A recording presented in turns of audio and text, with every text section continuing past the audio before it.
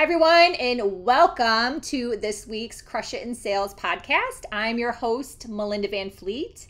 I'm a confidence and mindset mentor, coach, sales consultant, writer, bestselling author, and speaker. Woo! And I'm also a small business owner with my husband, Ryan, Good Karma Sport Fishing. So that's a lot of things, right? And I think that I need to start sharing that more kind of goes into my own little confidence bucket learning. But anywho, I am so grateful and excited you decided to join me today. My brain is on fire. It's crazy.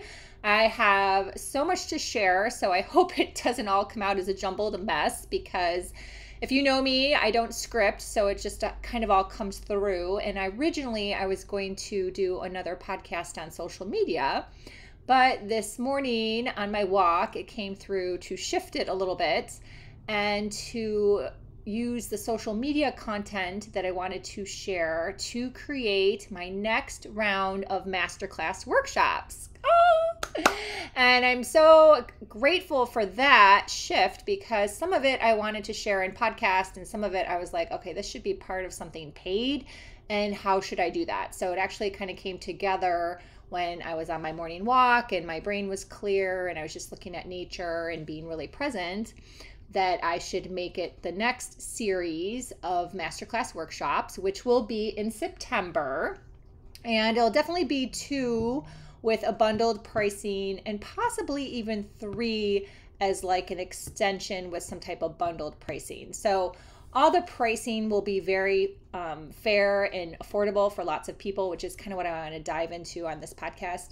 But um, yeah, they're going to be paid masterclass workshops. I'm probably going to create the link pretty soon and start promoting them for September. So, yay! I'm super excited and I have some really amazing information to share about social media, a lot of talk about confidence, a lot of talk about energetics and um, I had this something happen on Sunday that I recognized and was I wasn't I'm not gonna say triggered, but like, hmm, I need to adjust my behavior. And then again, I went on a walk Sunday night and it came to me how I could reframe it and use it positively towards leveling up my success. And I shared it with my husband. He's like, that actually really makes sense. I'm like, I know, right? So really cool reframe around social media and energetics, which I will share in that masterclass. So stay tuned, stay tuned, stay tuned. So let's see. What I want to share today is something I have never shared. And again, it goes into the lane of like coaching and pricing and paying for things. And a lot of people, it's kind of like eye opening a lot of people have never had a coach before. Never. A lot of people have never paid for any type of online coaching. And a lot of people even still haven't like taken advantage of anything that's free. And when you're in this lane and you've been in this lane for so many years now, I would say gosh, 5 years when I start to recount this story, you you start to have these assumptions that well, everyone knows that you know, coaching costs money. Everyone knows that courses cost money. And you, and you have these assumptions, and then you start talking to people, even friends, and they're like, Yeah, it, Melinda, I have no clue what you're talking about. And you're like, What? So it kind of brings you back down to reality of like, Yeah, there's 7.9 billion people in this world, and the majority of them have never had a coach. Like, it's just true. No shade, just true. It's just because I'm so heavily invested in this space that my assumptions in my brain kind of like overtook reality, right? So I started to think about when I first kind of got pulled into this world and what it felt like in my body. And what happened was I originally found Grant Cardone through seeing his book in a bookstore in the airport and it was 10x. His 10x book had just come out. So I want to say the year was like 2017. And I was like, oh, who's this guy? And I, I've always loved books. I've kind of stepped away from buying and purchasing so many personal development books because I'm just not in that space anymore. And um, I've put a little some posts out there online. You can read about that. That's a whole different story. But at the time, I was buying like every personal development book, every book on CD. Yes, on CD, because this was before, you know, everything really took off with Audible and YouTube and stuff. And then I ended up noticing that he was on this thing called YouTube. And I was like, what's YouTube? So I downloaded the app. I had gotten a new phone. I downloaded the app and I started listening to Grant Cardone on YouTube. And then um, just kind of got into like his whole world. And I remember in December of that year, he was marketing a course that was a sales course and it was a thousand dollars.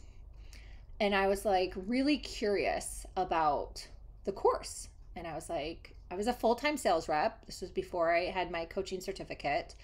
And I was like, this might have been 2016. I'd really have to check. And excuse me, I was like, a thousand dollars. That's so much money. I was like, oh my gosh, a thousand dollars. I was like, wow, a thousand dollars. Like, oh my gosh. And it wouldn't leave me. Like, it, it wouldn't leave me. And I've always been that person that if I don't buy something right away, but then it stays with me it's my intuition telling me, Melinda, you should get it. Get it, get it, get it. Now, if it leaves me, then it's my intuition being like, okay, yep, it was fine that you passed. So even back then, I was like listening to guidance, and I, on December 31st, because I was like, okay, I have the money. I can write this off in my taxes. That's where my brain went taxes. I'm like, I'm going to get it. So pressing that button for a thousand dollars on his website was one of the scariest moments. I was like oh my gosh it's a thousand dollars i'm giving for this online course and i know nothing about this and i just started following this dude. And like what the heck am i doing? But i pressed it and you know what? I survived. I survived. I survived. The money was fine. Money flowed back to me. It was a write-off. Everything was good. I survived that started like the whole journey into buying online courses, which then evolved into paying for coaches. Because in the past, I had a coach, which I talked about before, but the company paid for him. So I had never personally paid for a coach. So in the summer of 2018, was when I discovered, actually rediscovered Gabby Bernstein. So I had had her book, Spirit Junkie, on my shelf. I had read it when it, it came out or when I got laid off, kind of around 2009 timeframe. But um, wasn't following her again. Like I was new to social media in terms of following people, and I wasn't even online myself. So I was just kind of like warming up and following people. And I started following her because I had had a total mental breakdown, a dark night of the soul, in May of 2018 and I looked at my bookshelf and her book like popped out and that's when I started meditating. And I've talked about this before, so there's more story there, so I'm just going to keep this tight. And I started following her and ended up buying her course uh, Spirit Junkie Masterclass, I think is what it's called, and it was two thousand dollars, and I was like, two thousand dollars, and I did a payment plan, which I really didn't even need to do at the time, but I did do a payment plan, and I was like, oh my gosh, oh my gosh, this is like so big, and when I hit that button for two thousand dollars, I was like, but I did it. And you know what? I survived and I was grateful that I did it because I learned so much, right? So when we take these steps in terms of spending money for our personal development and growth, it just helps us grow and expand. And money is energy. So if you have the right mindset about why you're spending it, right? And I was guided towards these people even from an intuitive space, like you're going to be fine. It's helping you. And if you're an independent contractor, entrepreneur, small business owner, it's a write off. So, hey, you should spend it and learn from it not have the government have it, right? So, all of these things like have been growing. Like, I really believe in the power of spending more money and like increasing your container for what you can hold as you grow And then in 2019, I was deciding to be part of a program, a speaking program. It was this marketing speaking program, not how to be a speaker, but how to market yourself. And it was a six month container with some uh, two days a week was like live on either Facebook or, or Zoom or something. I can't remember. It feels like so long ago. And then you could have like laser coaches and laser coaching sessions for like 15 minutes if you had questions. And there was a lot involved in it. That was $10,000. $10,000, which at the time, again, seemed so scary. And I remember talking to the Ninja sales rep, and I think her name was Lois, and she lived in Costa Rica. And I remember telling her, I, I need to see if I can gather this money. And all I really wanted to do was make sure that my taxes were covered. And then if I had enough surplus and I felt okay in my body with my our savings, then $10,000 to spend on my future speaking career was good for me. So I did that. I spent the $10,000 and I survived and I learned and I grew and the money came back to me and it was no big deal. So as we spend, on our personal development, the universe supports us. We are supported energetically. If you're doing things for the right reasons, if you're doing things to further your own development or for the greater good so you can help others, which is really what this is all about, right? We all help each other in this lane, then you're going to be fine. You're going to be fine. So, what ends up happening, like on the flip side, is especially if you're a spiritual coach or even like a religious coach, let's say, you know, a lot of people get stuck in thinking, you know, I can't charge. I can't charge for my services. I can't charge for my services. It's like, no, you can. You can. It's fine. And when people pay for something, they actually have more skin in the game. It's like amazing. Time and time again, I've seen it. Like, it's just amazing. If you pay for something, you have skin in the game. So, if you're someone out there listening and you're afraid to charge for your services, you know, working on that fear and starting even small will help you push through it and then you'll be fine. You'll be able to like feel it in your body, notice the shift, be like, okay, cool, and celebrate it and, and move on to like the next level. It's the same thing. It works on both sides. It works on the spending and, and it works on the receiving. It works on both sides of the coin. So it's really something to increase your conscious awareness around like, how am I feeling when I charge this? Or how am I feeling when I spend this? And really building some awareness around it. You know, for years with our charter business, Good Karma Sport Fishing, you know, we have raised our prices on the charters like for years like I, I wish i actually would have kept a better tally of you know how many times we've raised it and we've done different things like we added a fee if you use a credit card versus cash. And we took away um, certain features for for various reasons. Some the financial piece, and some just my husband being able to manage things. And every single time, we have felt good in our bodies when we do it, and it's worked out fine. Nothing has changed. Our business continues to grow. It's totally fine. So it's actually like such an amazing such an amazing thing.